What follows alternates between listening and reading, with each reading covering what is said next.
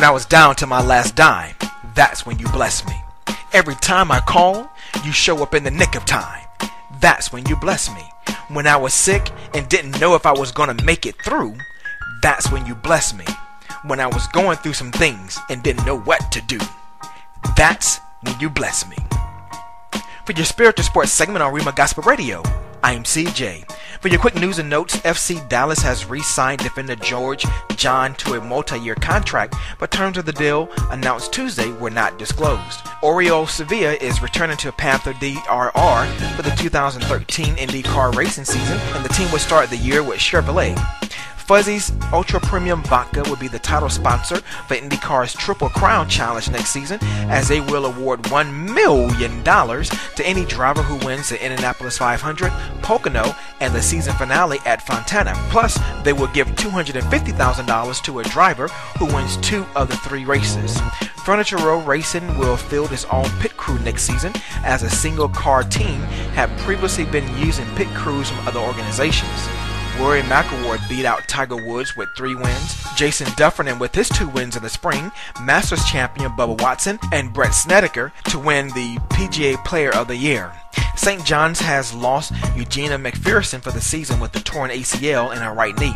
11th ranked Maryland must play the remainder of the season without junior guard Laurin Mincy, who tore a knee ligament in Wednesday's win over Nebraska. After going 68 and 24 with the Wisconsin Badgers, four double-digit win seasons, and led his team to the Rose Bowl this year, Bret Bielema is taking his brand of power football to Arkansas, leaving Wisconsin after seven seasons.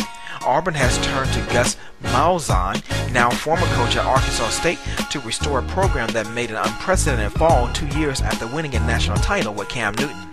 Baylor coach Art Briles has agreed to a new long-term deal, a school source told ESPN's Joe Schad on Tuesday. After two seasons as football coach of Temple, Steve Addazio has been hired as Boston College's next football coach. Canadian businesses near NHL arenas because of the lockout, as according to a leading credit and debit card processor, spending is down more than 11% from a year ago on game day. The Washington Nationals have added a veteran presence to an already formidable rotation, agreeing to terms with Dan Haren for one year and $13 million. The Boston Red Sox agreed to a deal with free agent outfielder Shane Victorino on Tuesday for three years and $39 million. If Alex Rodriguez is unable to play in 2013, or in worst case scenario, is forced to retire because of the hip injury that will require surgery next month, it would not be a total loss financially for the New York Yankees, as they are insured for a good portion of the $114 million that he is owed over the next five seasons. The Texas Rangers have officially added reliever Joakim Soria, signing the free agent to a two-year deal with a club option for 2015, and the deal is worth $18 million. And finally, Chicago Cubs manager Dale Sveum was accidentally hit in the ear with shrapnel while hunting this offseason with Hall of Famer Robin Yount. It's all fun and games when hunting till somebody gets shot in the ear. Huh? Do you want your share of $10,000 in cash and prizes next year?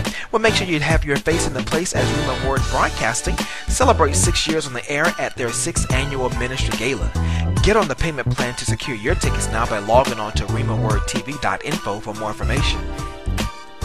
To catch archives of your spiritual sports segment, log on to my innovative blog site, ceejaysports.com, and make sure you give me that follow on Twitter at cjsports, and don't forget to like me on Facebook at cj at that's C E E J A Y. Tune in next time for more updates in your next spiritual sports segment, where we sprinkle a little spirituality. in your sports. I'm CJ. Be blessed and have a positive, productive, blessed day.